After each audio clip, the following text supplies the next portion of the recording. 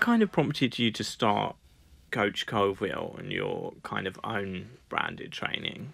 Yeah, so I've been training people for nearly nearly ten years now, and I guess Coach Colville.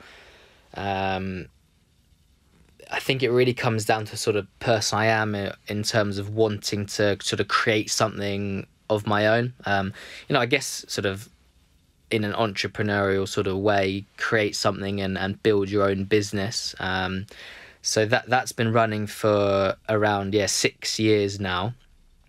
Um, and the main driver was to just have full autonomy and ownership in terms of what I was able to deliver with clients. Obviously, if you're working in a commercial gym, you're always constrained slightly in terms of the scope of your practice. You know, you might the client might be paying the gym just for one hour, you know, whereas my personal practice is completely flexible. So we can obviously train for a specific amount of time if that's longer, if it's, you know, a slightly more detailed rehab case or or something along those lines. Um, and then obviously the spin-offs of that of more sort of in-depth consultations. So yeah, it stemmed from sort of wanting to pursue any sort of aspects I wanted really. Mm, more freedom. Exactly, yeah, yeah. Freedom is always the aim.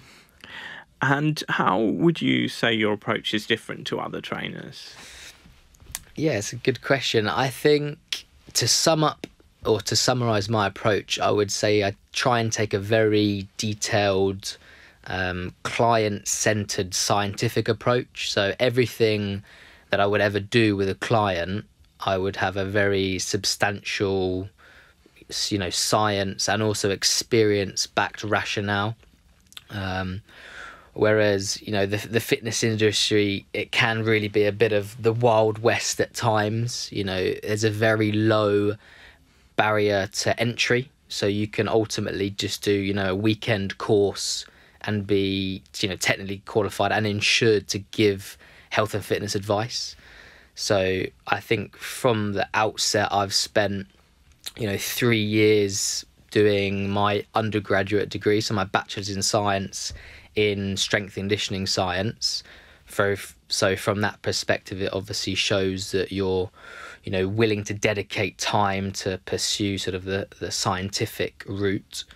Um, so that would be, I guess, one aspect, um, the sort of you know really detailed scientific approach. And then i would also like to say that it's very holistic in nature. So a lot of my practice is based around a lot of systems thinking. So that's the sort of study of um, holistic science basically. So i try and always ensure what i'm doing i'm not just targeting just one aspect of you know health or fitness. It's how the whole program comes together yeah, definitely. And I would definitely say some of the sessions are very challenging.